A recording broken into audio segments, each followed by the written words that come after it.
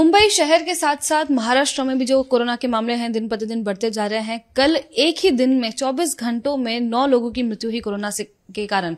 इस बीच सबसे बड़ा सवाल यही उठता है कि क्या मुंबई और महाराष्ट्र में फिर से मामले बढ़ सकते हैं? और जैसे कि मृत्यु दर अचानक से 24 घंटों में इतना बढ़ चुका है तो क्या ये जो कहर है और बढ़ सकता है? इस बार में अधिक जानकारी देने के लिए मेरे साथ डॉक्टर गौतम भंसाली हैं। सर, आप कंसल्टेंट फिजिशियन हैं, कोविड टास्क फोर्स के सदस्य भी हैं महाराष्ट्र राज्य के।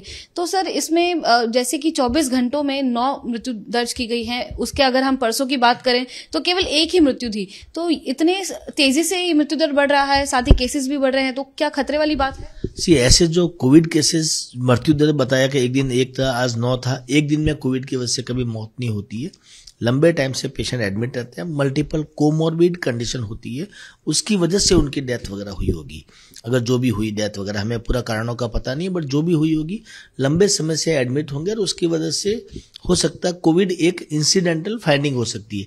बट मुझे नहीं लगता कि बिकॉज़ ऑफ़ कोविड ओनली इस तरह की कोई डेथ हो रही है, इस तरह कोई सीवियरिटी भी हो रही है। अभी तक जितने कोविड के केसेस आ रहे हैं सीवियर केसेस अभी तक कोई भी नहीं आ रहे जो भी डेथ वाले केसेस है, वो कोमोरबिड कंडीशन वाले केस है और एक को इंसिडेंटल फाइंडिंग है वो। हालाँकि अन्य बीमारियों से पीड़ित जो मरीज़ थे, वो सर कुछ वक्त पहले भी कोरोना संक्रमित होते थे, लेकिन अभी हाल ही में वापस संक्रमण का जो तेज़ी से बढ़ना है, वो काफ़ी हो चुका है। कई सारे लोग पॉजिटिव हो रहे हैं, पंद्रह के करीब मुंबई में एक्टिव केसेस हो चुके हैं, पाँच के करीब महाराष्ट्र में हो चुके हैं। तो अब ये जो नया वेरियंट है या फिर ये जो कोरोना का वेरियंट है, इसके बारे में कुछ अगर आप बता सकें। सी, ये जितने भी वेरिएंट है टाइप और सब टाइप हर वेरिएंट के होते हैं और उसी टाइप के चल रहे हैं। ये नंबर ऑफ़ केसेस जो बढ़ रहे हैं, ये एक तरह का सर्ज है, ये एक तरह का स्पाइक है, जो एक्सपेक्टेड था पहले भी कि बढ़ सकते हैं और मुझे लगता है, जो मेरा पर्सनल अनुमान है, अगले दो तीन हफ़्ता तक नंबर ऑफ़ केसेस और बढ़ेंगे, उसके बाद अपने आप कम हो जाएँगे। वायरल डिज़ीज़ है, खत्म नहीं होता है वायरस इसकी पोटेंसी धीरे धीरे कम होती है। ये सीज़न है, ये सीज़न में स्वाइन फ्लू भी केसेस भी है डेंगू के भी है, मलेरिया के भी केसेस है। अगर आप उन सब केसेस को काउंट करेंगे तो वो इंडिविजुअली भी कोविड से ज़्यादा केसेस है। जिस तरीके से आप सदस्य भी हैं कोविड टास्क फोर्स के तो क्या कोई बैठक हुई है? क्या कोई निर्णय लिया गया है? जिस तरीके से बीएमसी की जो अस्पताल है वहाँ पे मास्क कंपल्शन हो गया है। तो क्या अब राज्य स्तर पे कुछ तैयारियाँ की जा रही है? डेफिनेटली राज्य स्तर पर भी गवर्नमेंट लेवल पे भी डिस्कशन हो रहा है सेंट्रल गवर्नमेंट लेवल पे भी डिस्कशन हो रहा है मीटिंग्स भी हुई है।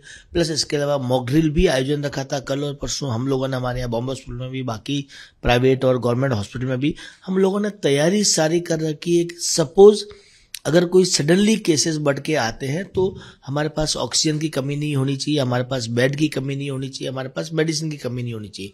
वो सारी तैयारियाँ हमने सब जगह कर रखी है, लेकिन मुझे उम्मीद नहीं लगती है।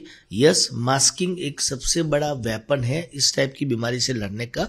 इसीलिए परसों जो हमारी बीएमसी के साथ मीटिंग थी, उसमें ये डिसीज़न लिया गया गया जितने भी गवर्नमेंट हॉस्पिटल वगैरह है प्लस ऑफ़िस वगैरह है, वहाँ पे मास्क लगाना चाहिए। कुछ में मास्क को कंपल्सरी भी कर दिया गया है।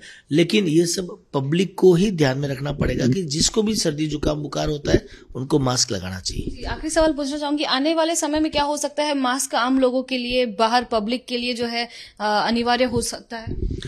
अनिवार्य करने से ज़्यादा ज़रूरी है कि पब्लिक को खुद को स्वतः डिसीज़न लेना चाहिए बिकॉज़ तीन साल हो गया कोविड से लड़ते लड़ते और सबको सब पता है इस बीमारी के बारे में।